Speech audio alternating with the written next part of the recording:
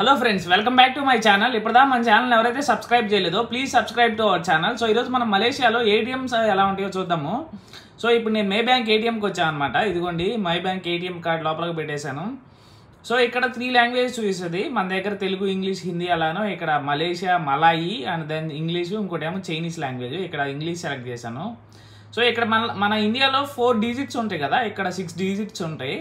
నా pin enter చేస్తున్నాను. కళ్ళు మూసుకోండి అందరూ. సో ఇక్కడ సిక్స్ డిజిట్స్ కొట్టంగానే పిన్ ఇక్కడ మనకి ఆప్షన్స్ వస్తాయి. మనకి ఇప్పుడు క్యాష్ విత్డ్రా కావాలి డబ్బులు తీయాలి కాబట్టి.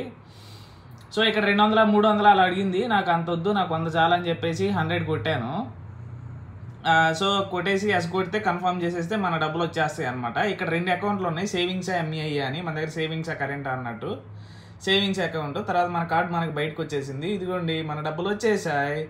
కానీ ఏంటంటే ఇప్పుడు అన్ని పది రింగేట్ల నోట్లు ఇచ్చాడు అన్ని సో ఇంక రిసిప్ట్ వద్దని చెప్పేసి